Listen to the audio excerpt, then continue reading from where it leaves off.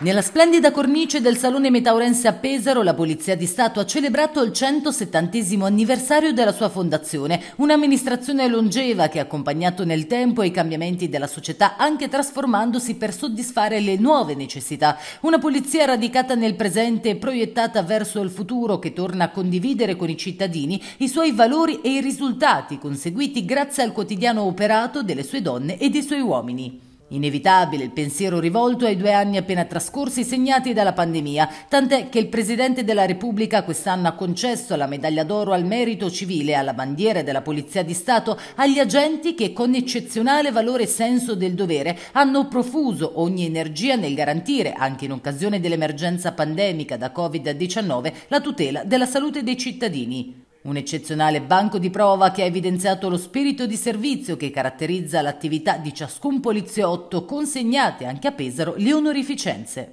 Sono stati due anni difficilissimi, difficilissimi perché abbiamo dovuto affrontare ehm, circostanze, situazioni impensabili, impensabili, quindi abbiamo dovuto adeguarci alle nuove esigenze collettive per garantire appunto questa questa, la sicurezza di tutti i cittadini. Abbiamo svolto lavori, diciamo, io ricordo la, Pasqua di due anni fa, ho trascorso la giornata di Pasqua da solo, completamente da solo, girando per la città di Pesaro per verificare insieme al nostro personale, carabinieri, polizia, eh, il controllo del lockdown generalizzato che c'è stato in quel periodo. Ricordo che c'era anche l'elicottero della polizia che cercava, eh, cercava tutti i, coloro che potevano, i, quelli che facevano un po' di furma, ma era, era, diciamo, era sacrosanto una certa esigenza di, di, uscire, perché in effetti erano belle giornate. E, e quel lavoro sicuramente ci,